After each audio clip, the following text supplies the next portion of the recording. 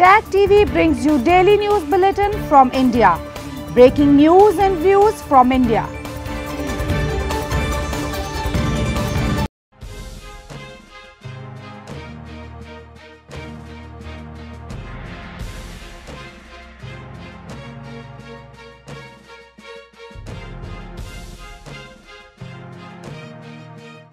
Good evening. Welcome to South Asia Newsline. I'm Shreya Savijay. Here are the top stories we are tracking for you on Thursday, the 5th of August. Abrogation of Article 370 brought unprecedented progress, peace in India's Jammu and Kashmir, says PM Modi. Pakistanis rush to get inoculated after government warns of penalties for unvaccinated. And celebrations erupt back home as India wins Olympic hockey medal after 41 years.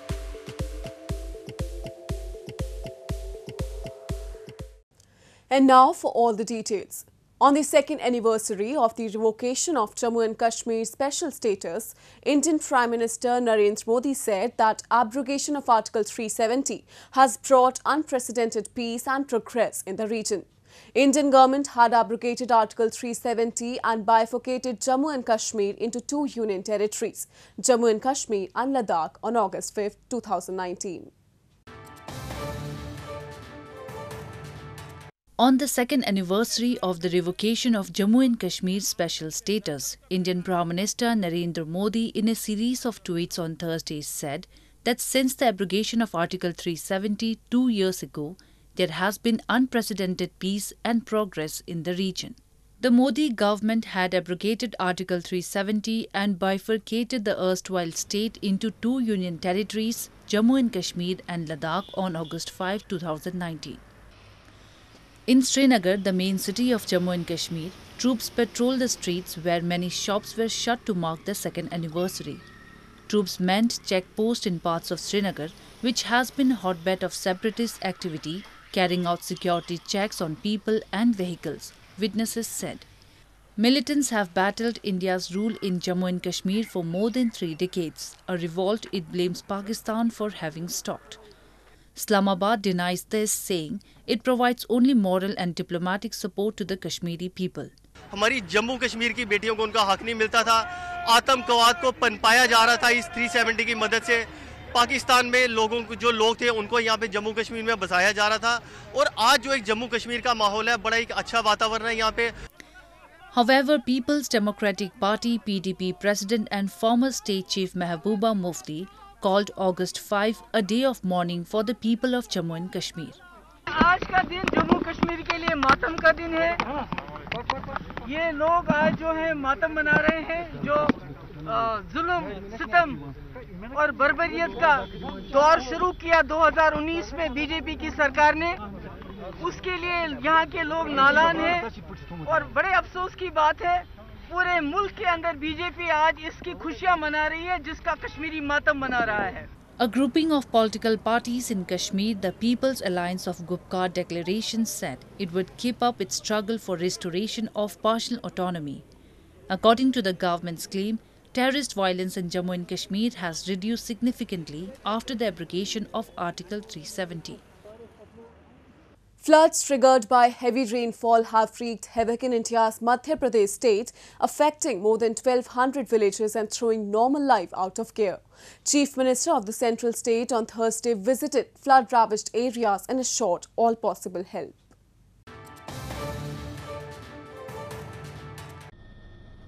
Floods triggered by incessant rainfall have wreaked havoc in India's central Madhya Pradesh state, affecting over 1200 villages and throwing normal life out of gear.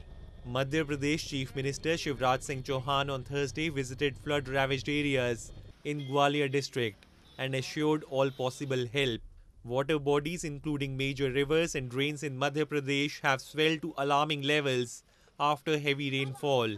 At least three deaths have been reported due to the deluge in the state, according to local media reports. Rescue operations have been underway since Monday. जितनी राहत की राशि दी जानी है और बाकी व्यवस्थाएं की जानी है वो सब करेंगे और जब तक घर में नहीं पहुंच जाते तो भोजन की पानी की बाकी सारी व्यवस्था भी की जाएगी और घर Seasonal monsoon rains are crucial for farmers, but excessive rainfalls affect several regions in India, causing problems like floods, landslides, and waterborne diseases every year.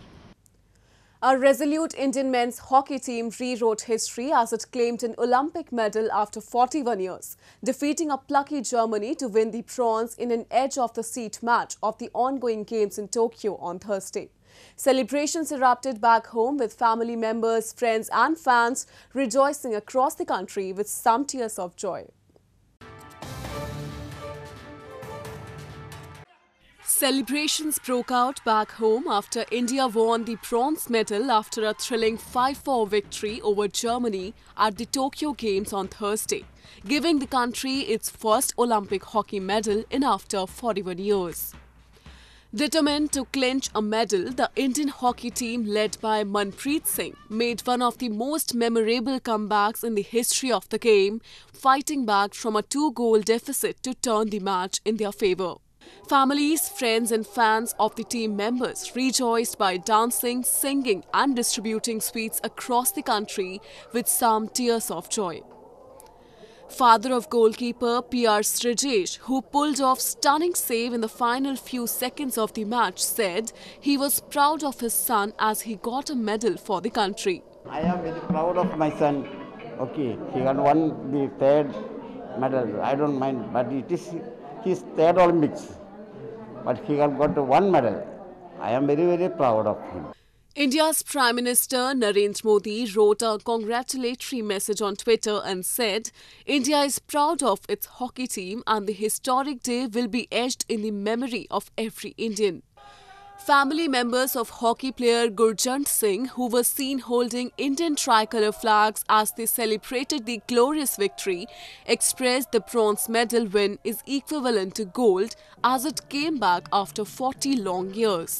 ਦੇ ਮਨ ਨੂੰ ਬੜੀ ਖੁਸ਼ੀ ਆ ਜੀ ਆ ਵੇਖੋ ਤਿੰਨ ਤਿੰਨ ਹੀ ਤਿਰੰਗੇ ਝੰਡੇ ਫੜੇ ਹੈਗੇ ਇਸ ਤੋਂ ਵੱਧ ਖੁਸ਼ੀ ਹੋ ਖੁਸ਼ੀ ਹੋਰ ਕਿਹੜੀ ਹੋ ਸਕਦੀ ਹੈਗੀ ਇਹ ਸਾਡੇ ਵਾਸਤੇ ਬ੍ਰਾਊਨ ਮੈਡਲ ਨਹੀਂ ਇਹ ਸਾਡੇ ਵਾਸਤੇ 골ਡ ਮੈਡਲ ਹੈਗਾ India's last of the eight Olympic goals came way back in the 1980 Moscow Games. It is India's third hockey bronze medal in the history of the Olympics. The other two came in 1968 Mexico City and the 1972 Munich Games. In news from Pakistan, the government of Pakistan recently warned its citizens of penalizing them if they refuse to get COVID 19 jabs, following which long queues and massive crowds formed at vaccination centres in the country this week as people rushed to get inoculated. The government announced that it would block unvaccinated workers from entering public offices, schools, and restaurants, while the general public will be banned from transport, shopping malls, and air travel without vaccination certificates.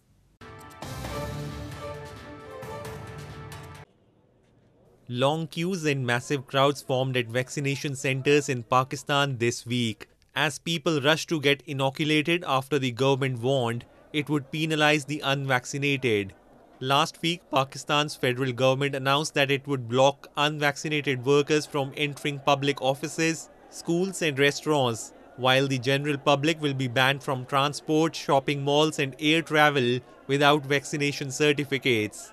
The provincial government in Sindh has put extra pressure on people to get vaccinated, warning that it could withhold the salaries of government servants and block people's cell phone SIM cards unless they had the required certificates. मैं personally corona से डरता नहीं हूँ लेकिन government of Sindh के कुछ इकदाम ऐसे हैं जिसकी वजह से मुझे वैक्सीन लगानी पड़ी क्योंकि हमारी सैलरी रोक दी जाएगी हमारी सिम बंद हो जाएगी ये सारी चीज़ें चल रही हैं इस वजह से आज मैंने अपनी सेकेंड डोज कंप्लीट कराई है बहरहाल मैं कोरोना से डरता नहीं Health workers said crowds were surging mainly because people were afraid of these new restrictions kicking in on August 30 rather than for any health concerns, and many of those queuing agreed.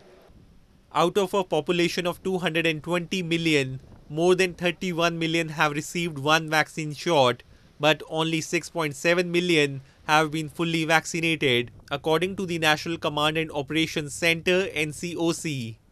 The country has seen soaring coronavirus infections fueled by the highly transmissible Delta variant, putting its poor health infrastructure under extreme pressure. Pakistan has so far reported 1.05 million cases of coronavirus. Moving on. Candidate of Pakistan Prime Minister Imran Khan's ruling PTI party, Abdul Qayyum Niazi, was sworn in as the new Prime Minister of the illegally occupied territory of Pakistan administered Kashmir on Wednesday.